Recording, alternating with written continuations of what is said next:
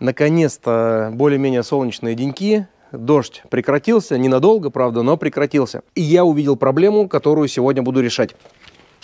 Итак, смотрите, вроде как потолок, вроде как ничего страшного, вроде как даже бетонный, но он весь покрылся какой-то перхотью, и эта перхоть постоянно падает на наши какие-то вещи, предметы. Все в этой звездке.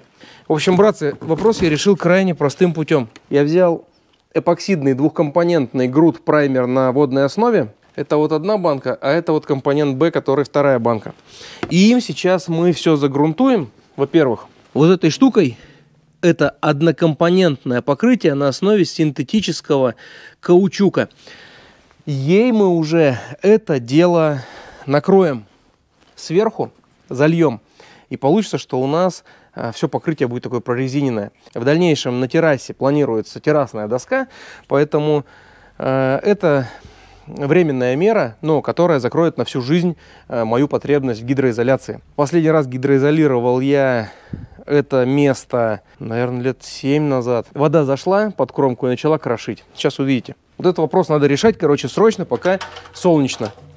Вот. Так что пойдемте и решим его сразу после включения колонки от Greenworks. Вот так я ее берегу.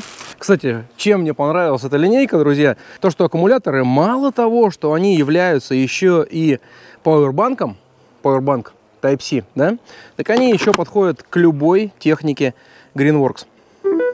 Все, это колонка на 24 вольта. Сейчас будет играть музыка, а я буду работать. Вот эта гидроизоляция отработала свое, отработала наверное, хорошо за 7 лет. Вот, но пришло время наложить сюда новый слой новой гидроизоляции. И еще у меня вот здесь по стене течет, смотрите, а стена пока это OSB-шная, ее надо защитить. Поэтому, соответственно, вот это все тоже я буду сейчас отбивать и наливать сюда новый слой бетона. Это прежде чем делать грамотную гидроизоляцию. То есть нужно сразу сформировать все хорошо, чтобы вода уходила туда, куда мне нужно и потом уже заниматься э, гидроизоляцией. Вот видите, там тоже все отпало. Все это сейчас я отдолблю и заменю на новый слой.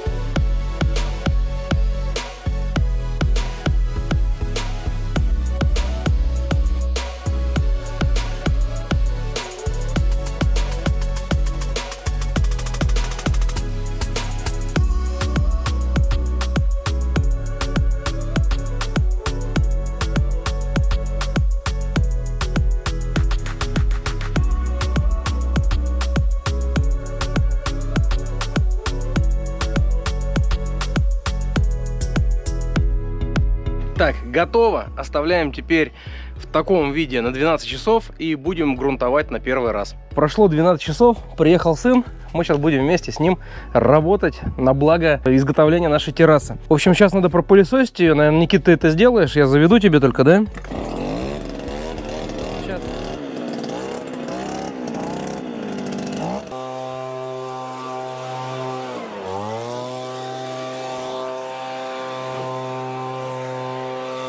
Мы дерево композитной плитой потом закроем, то есть это террасная доска. И поэтому нам совершенно без разницы, как сейчас выглядит наш э, пол террасы. Но нам нужно его загидроизолировать, чтобы у нас бетон не промокал. Поэтому мы берем двухкомпонентный грунт праймер. Это эластомерик 0,20. А, смешать его надо 1 к 4, то есть один компонент B и 4 компонента А. Ну, это несложно, собственно говоря. Кстати, его можно разбавлять водой, но если вы будете смешивать его миксером, а, его мы не будем разбавлять, мы его все равно будем накладывать валиком. Вот, кот у меня как раз сейчас будет этим заниматься. В общем, после смешивания образуется молочный цвет, но потом когда это все высохнет, он будет полностью прозрачным. Главное, чтобы нам хватило, поэтому я думаю, все-таки немножко воды мы добавим. Непосредственно перед применением к компоненту А янтарная жидкость добавить компонент Б бесцветную жидкость в соотношении 4 к 1 по весу. Смесь перемешивать 3-4 минуты до полной однородности с помощью низкооборотистого миксера 200-300 оборотов в минуту. Особое внимание следует обращать на равномерность перемешивания во всем объеме емкости, особенно у стенок и дна. Прежде чем наносить уже финальный ластомерик, который уже вот этот силиконовый слой, а, нужно, чтобы средство, во-первых, подсохло, но оставалось липким. И вдруг, если эта липкость пропала, то необходимо тогда нанести еще раз слой грунтовки. Поэтому очень важно сделать это мероприятие через то количество времени определенное, которое необходимо по документам. А необходимо оно по погодным условиям. То есть, если на улице жара, то это быстрее, если на улице холоднее, то дольше она загустевает. А если время упущено, то провести грунтование заново. Еще момент, когда мешаете, нужно, чтобы а, миксер работал не так интенсивно, чтобы не превращал это все дело в состав с воздухом. То есть воздушные пузыри нам не нужны.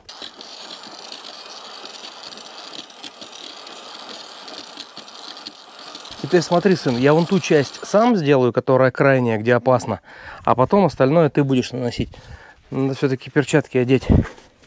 Нельзя создавать лужи, но нельзя и оставлять свободных пространств. То есть нужно все-все хорошенько пропитать чтобы потом адгезия была хорошая. В общем, эластомерик 020 это двухкомпонентная прозрачная эпоксидная грунтовка глубокого проникновения на водной основе с высокой устойчивостью к химическим и механическим воздействиям. Она обладает отличной адгезией практически ко всем поверхностям. То есть сейчас, когда мы ее нанесем на наш пол, она закроет уже как минимум часть задач, по гидроизоляции, но главная ее задача это адгезировать потом основной состав уже к этому полу. Э, выдерживает отрицательное гидростатическое давление и не токсичен, не оказывает никакого вредного воздействия на окружающую среду. Поэтому я позволил сыну заниматься гидроизоляцией, потому что в этом нет ничего опасного. На второй раз гидроизоляция уже грамотнее. Мы придумали с Никитой палку. Да, главное не оставляйте, друзья, вот такие лужицы. Нужно все-все хорошо размазывать. И все места, и пористые, и непористые, должны быть хорошо промазаны.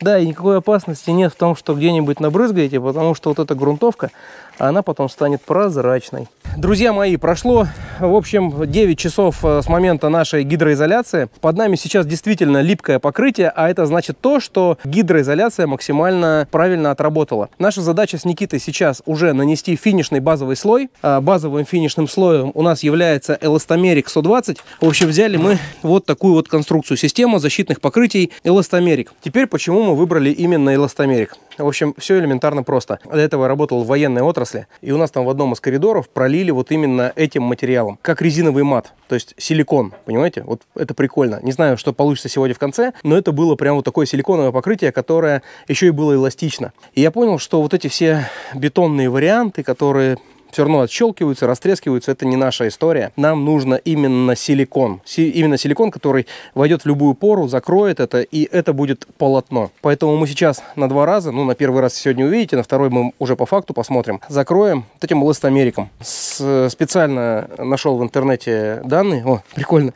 Смотри, она прям липнет. Он прям липкий слой. Так, короче, это эластомерик 120. Это в жидком виде финишное однокомпонентное покрытие на основе сополимера синтетического каучука нового поколения. То есть оно предназначено для гидроизоляции строительных конструкций и устройства бесшовных кровельных покрытий. Но это говорит уже о многом. То есть для ремонта кровель и так далее. Ну, давайте не буду вас загонять э, информацией. Э, что мне понравилось, он устойчив к ультрафиолету, то есть не нужно будет срочно закрывать это все деревокомпозитом, у нас есть на это время. Короче, кому интересно, друзья, найдете в интернете. Я для себя информацию нашел, посмотрел, изучил, понял.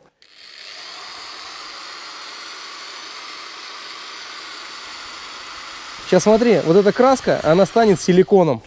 Сейчас надо просто попасть во все во все участки, чтобы никуда вода не смогла вообще зайти.